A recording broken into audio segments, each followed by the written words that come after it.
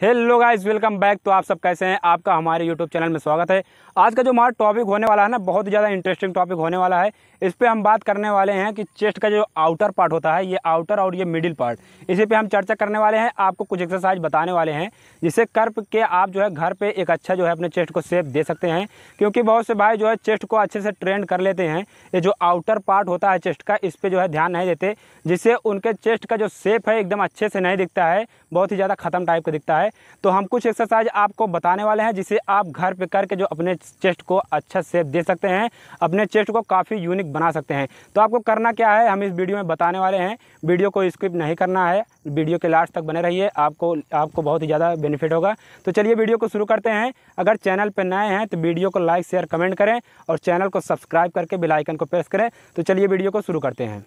अब जो हमारी पहली एक्सरसाइज होने वाली है, उसमें करना क्या है, हम आपको बताने वाले हैं। आपको सिंपली दो ईंट ले लेना है, आप देख सकते हैं। आपको सिंपली दो ईंट ले लेना है, उसके बाद आपको ईंटों को कुछ इस तरह से रखना है, आप देख सकते हैं। ईंटों को इस तरह रखना है, उसके बाद एक हाथ को इस पर रखना है और एक हाथ को कर और पुशअप के फॉर्म में आना है। आप देख सकते हैं, आपका जो है चेस्ट का जो है मिडिल चेस्ट जो होता है, अपने अपने हाथ को जो है, सामने जो है मिडिल चेस्ट को रखना है। आपके बॉडी को जो है आगे नहीं रखना, ना ज़्यादा पीछे रखना है, एकदम जो है नॉर्मल रखना है। आराम आराम जाना है, आराम आराम ऊपर। आराम आराम नीचे, आराम आराम ऊपर। आपको चेस्ट पे एकदम लोड देते हुए जो है करना है। देखेंगे कि आपको बहुत ही ज़्यादा अच्छा रिज़ल्ट दिखेगा। आपका चेस्ट जो है बहुत तेज़ी से ग्रो होगा और आपका आउटर पार्ट जो है बहुत ही ज़्यादा कटिंगदार बनेगा। आपको दोनों हाथों से जो है बारी बारी करना है, पंद्रह से बीस रिपीटेशन निकालना है। आपको जो है कम से कम तीन से चार सेट लगाना है, हर सेट में पंद्रह से बीस रिपीटेशन निकालना है। तो कोई भी जल्दबाजी नहीं करना है आराम आराम करना है, नहीं तो जो है शोल्डर जो है इंजर्ड हो जाएगा, काफ़ी जो है लोड पड़ता है शोल्डर पर तो हम बढ़ते हैं अपनी दूसरी एक्सरसाइज की तरफ़। अब उसमें करना क्या है, हम आपको बताने वाले आपको रेस्ट करो बे। तो हम जो है आपको बताने वाले हैं दूसरी एक्सरसाइज को किस तरह परफॉर्म करना है। आपको सिंपली दोनों ईंटों को कुछ इस तरह से रख लेना है। आप देख सकते हैं, कुछ इस तरह से रख लेना है। अपने हाथों को जो है इस तरह रखना है।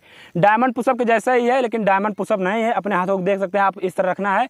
उसके बाद पुशअप के फॉर्म में आ जाना है। आराम आराम, नीचे जाना है। आराम आराम, ऊपर। आपको ये जो चेस्ट का मिडिल पार्ट होता है बीच वाला हिस्सा इसको जो है बहुत ही ज़्यादा तेज़ी से जो है ट्रेंड करता है एक्सरसाइज इसे आप घर पे करने के बाद आप देखेंगे कि आपका जो ये आउटर पार्ट होता है, बहुत तेज़ी से जो है गेन होगा, बहुत ही कटिंग दार जो है सेप आपके चेस्ट का बन जाएगा। तो आपको इस एक्सरसाइज को आराम आराम करना है, कोई जल्दबाजी नहीं करना है। आप देख सकते हैं किस तरह करना है। अपने जो है दोनों चेस्ट को जो है आराम आराम जाना है। आते वक्त एकदम इतना टाइट करना है कि जो जो आपका आउटर पार्ट होता है ना, पूरा लोड उसी पे पड़ना चाहिए जिससे आपका चेस्ट एकदम फट के बाहर आ जाए। रेस्ट करो बे। तो इस एक्सरसाइज को आपको घर पे जो है तीन से चार सेट लगाना है। हर सेट में पंद्रह से बीस रेपिटेशन निकालना है। उसके प्लस आप लगा सकते हैं। तो और अच्छी बात है, ये ज़रूरी नहीं है कि आपको जो है दस से पंद्रह ही रेपिटेशन निकालना है। उसके प्लस आप लगा सकते हैं। तो लगा लेना जिससे आपका जो है, आपके कैपेसिटी के हिसाब से आप लगा ले सकते हैं। तो हम बढ़ते हैं अपनी तीसरी एक्सरसाइज की तरफ़।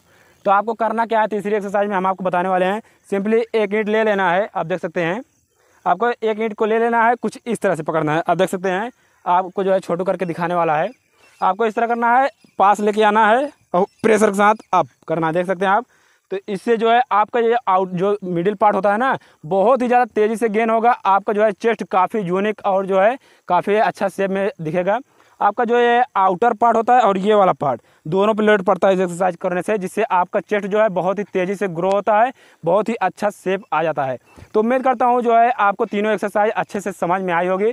आप घर पे जो है इन तीनों एक्सरसाइज को आसानी से करके अपने चेस्ट को जो है एक अच्छा शेप दे सकते हैं, एक यूनिक चेस्ट बना सकते हैं।